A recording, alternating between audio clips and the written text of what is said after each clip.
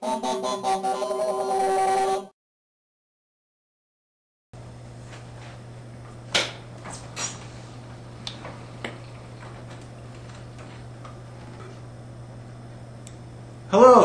this is Tom Kennedy, and it's Sunday, February 1st, 2009.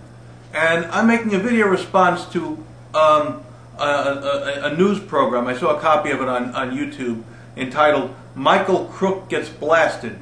I have notes here. Now, Sean Hannity and Alan Colmes were the hosts.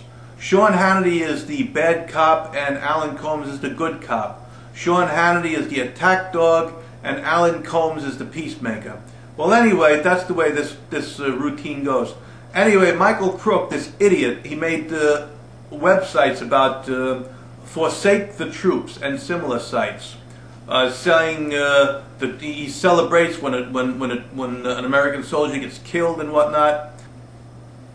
Sean Hannity said that you wouldn't be able to say it at all unless they put their lives on the line for you, and because I uh, because you wouldn't have the freedom to say bull bullshit. It's crap. Our troops are not fighting to protect our freedom. You can send five troops, you can send a million troops. You know what protects our freedom? A piece of paper called the Constitution of the United States, the Bill of Rights. That's what guarantees our freedom of speech.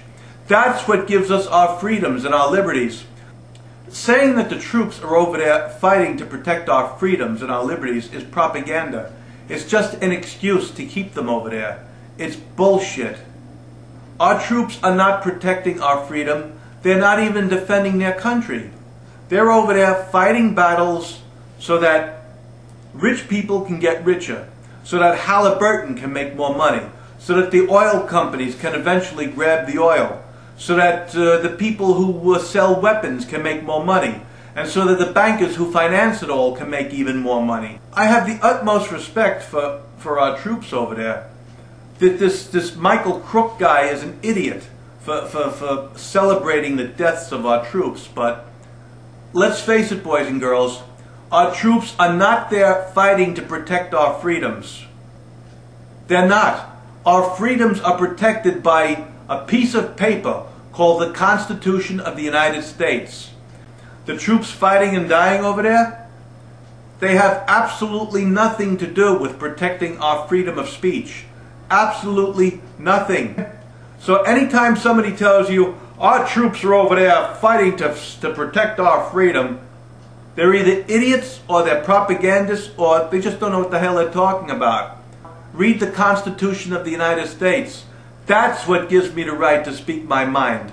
Not a bunch of kids over there fighting and dying because some slick uh, recruiter promised them a free education for doing it. Okay? So, hey, wake up, America.